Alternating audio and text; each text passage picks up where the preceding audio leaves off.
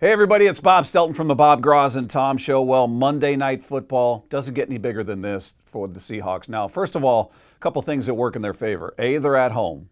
B, the 12 Seahawks fans understand the idea and the importance of Monday Night Football, the intensity of it. That place is going to be going bananas. And C, Pete Carroll's record in prime time games Monday night, Thursday night, Sunday night. This team dominates in those situations. On top of that, it doesn't get any more important than this particular game for the rest of the season. You got a handful of games, but this is the team, first of all, in your conference. They're a half game behind you in the playoff standings. You got to bridge that. You got to get that gap even bigger. So everything is on the line in this. They've got a great defense. Their offense isn't quite as explosive as people make it out to be. So I think there's opportunities for the Seahawks defense. We're going to see if they can get it done through the air because this is a very good run defense, but I like the Seahawks in prime time.